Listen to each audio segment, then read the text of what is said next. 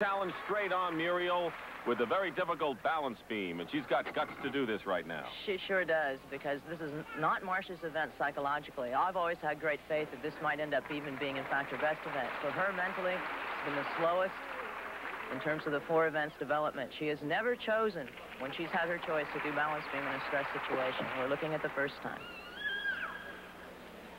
She's off to a very good start. Her mount gains her some bonus points. She hit it very nicely.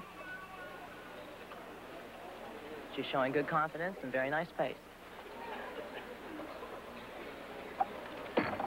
Back somersault with a little teensy bobble, I don't think probably deductible. Where is she hurting right now physically?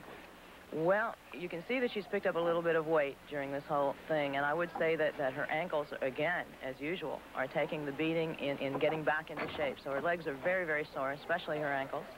And the other real big problem has been the residual swelling still from the concussion. She has a lot of problem with periodic balance losses. Here she's attempting three back handsprings in a row, and they were really well done. So far, I haven't seen a sign of it in this routine. So far, she looks stable.